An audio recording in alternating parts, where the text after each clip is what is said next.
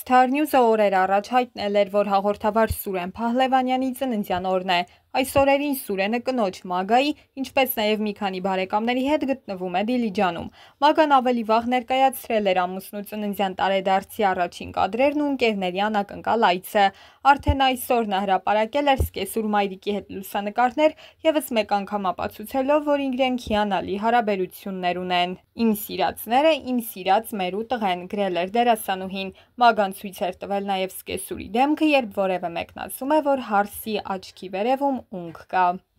Իր հարցազրույցներից մեկի ընթացքում Մագան անգամ խոստովանել էր, որ շատ լավ հարաբերություններ ունի Սուրենի մայրիկի ու քույրերի հետ, եւ օրերս նրա հրապարակած տեսանյութը փաստում է այդ մասին։ Մագան ու Սուրենը համատեղ մի միջոցառման են մասնակցել, որին ներկա է գտնվել նաեւ Սուրենի քույրը։ Մագան էլ նրա հետ համատեղ ջերմ կադրերով էր կիսվել ու դրանքից գրել էր՝ «Չունեք դուք սենց տալ»։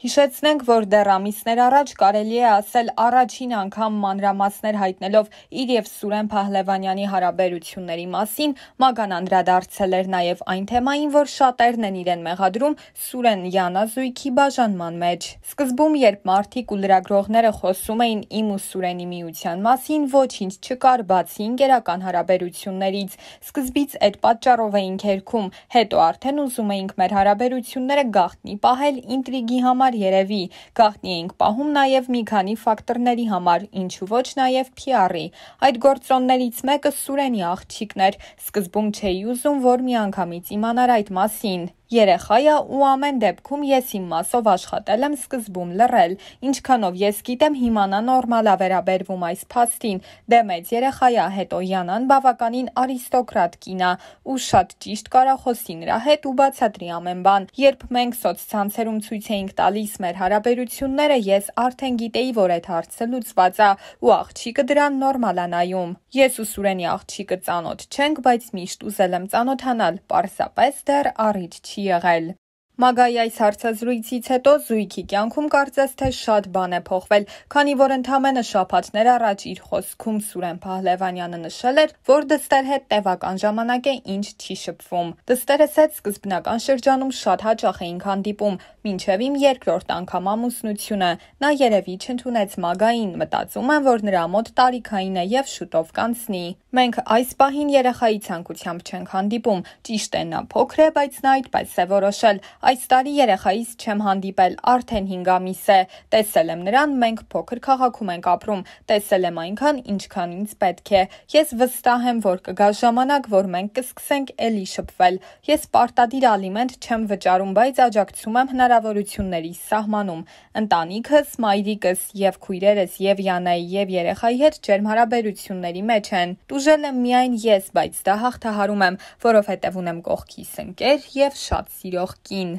Մագան էլ հավելել էր՝ իրեն մեղավոր չի համարում, որ Սուրենը չի շփվում դստեր հետ, եւ Սուրենը եւ Յանան իրենց հարցազրույցներում նշել են, որ ես իրենց բաժանության հետ կապ չունեմ, ու ես ինչքան էլ մարդկանց մոտ համարցակ ու սեքսուալ կերպար եմ ձևավորել, հավատա դա այդքան էլ այդպես չի, որովհետեւ ես շատ ուրիշ պրինցիպներով ապրող մարդ եմ, եւ եթե նույնիսկ ես հանդիպեի Սուրենին, երբ նա ամուսնացած էր, այսպես չէր ստացվի, ես չէի սիրահարվի։ Ամեն ինչ ստացվեց Սուրենի մի քայլերից ու նրանից, որ ես իմացա ինքնազատ մարդ է։ Ես այդքան հեշտ սիրահարվողներից չեմ։ Երևի երևում է ինձնից ես չեմ կարա սիրահարվեմ ու թքած ունենամ այդ մարդը ամուսնացածա թե չէ։ Ես վախենում եմ տենց բաներից, դա ինձ համար արժանապատիվ չի։ Անկեղծ ասած Յանային երբեք չեմ հանդիպել։ Ես ընդհանրապես լարվածություն չունեմ, չնայած կան բաներ, որոնք ինձ իր խոսքի մեջ դուր չեն եկել, բայց ես հաշվի եմ առնում, որ ինքը իմ Սուրոյի երեխու մաման է։ Չեմ ուզում դառնա երկու կնոջ կոնֆլիկտ, բայց արտահայտվելու ձև կա ամեն ինչում,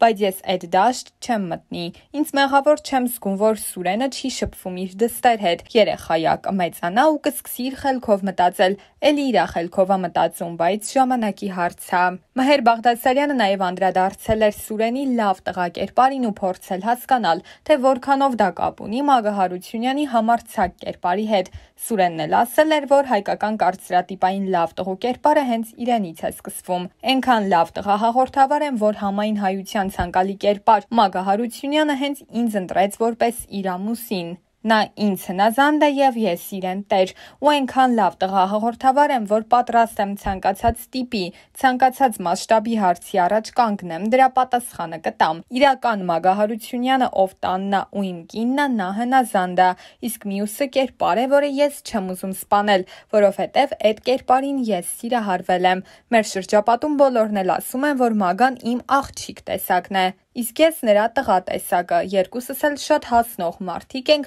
եւ միասին շատ ուժեղ ենք։ Go, go, go, Shara. It's your birthday. We're gonna party like it's your birthday.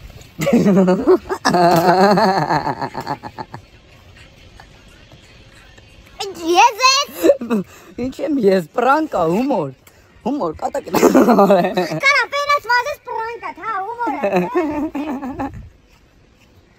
Իսկ ահա Սուրեն Փահլևանյանի նախկին կինը հաղորդավարուհի Յանա Դանիելյանը իր անձնական կարծիքն ու վերաբերմունքն ուներ այս թեմաների նկատմամբ ու խոսելով իրենց ամուսնալուծության մասին ընդգծել էր. դա շուտ պետք է լիներ, սակայն այդպես դասավորվեց, հնարավոր է շատերի համար նորություն լինի, քանի որ ես երբեք այս մասին չեմ խոսել։ Սա առաջին դեպքը չէ, որ մենք այս որոշմանն ենք գալիս։ Ուղղակի մինչ այս վերջնական բաժանումը մենք դա հանրային չենք դարձրել։ Խոսքս սովորական ընտանեկան վեճերի մասին մասին չէ։ Մենք բազմիցս որոշել ենք չապրել միասին, սակայն հետո նորից միացել ենք ու բոլոր դեպքերն էլ իմ նախաձեռնությամբ է եղել, քանի որ ես ուզում էի պահել ընտանիքս հանուն երեխայիս, այնպես որ սա առաջին անգամը չէ, բայց վերջինն է, ինչի համար ես շատ ուրախ եմ։ Հիմնական խնդիրն այն է, որ ես ընտանիք ասվածի համար ունեի իմ սպասելիքներն ու ցանկությունը, ու ընտանիքի մեր պատկերացումները չէին համընկնում։ Մեր հարաբերությունների մեջ կարմիր գիծն այն էր, երբ ամեն ինչ սահմաններից դուրս էր եկել,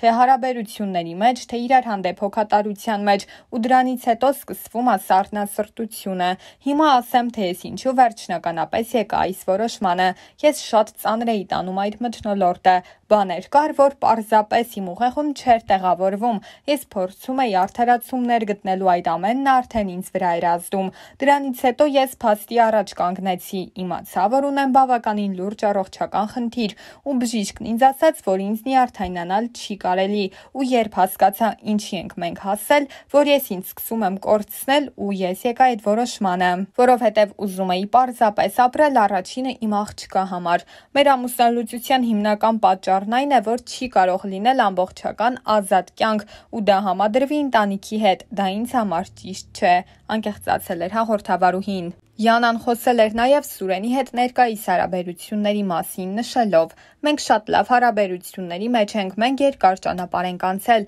12 տարի ներքուստ կա մի ջերմություն, որը թույլ է տալիս լավ հարաբերություններ ունենալ։ Բաժանման որոշումը կայացրել եմ իմ երեխայի համար, ու նրա համար էսպես շատ լավ է։ Ադելի եւ Սուրենի հարաբերություններն էլ շատ լավ են, սովորական։ Նրանք հաճախ չեն տեսնվում ու դրանում իմ մեղավորությունը չէ։ Իսկ հետագայում ինչ կլինի, կտեսնենք, նշել էր Յանան։